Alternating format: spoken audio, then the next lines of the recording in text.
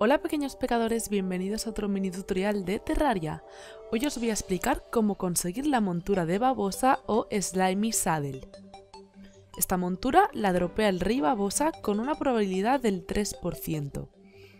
Así que os aconsejo que os hagáis con muchas coronas de babosa y paciencia si queréis conseguirla.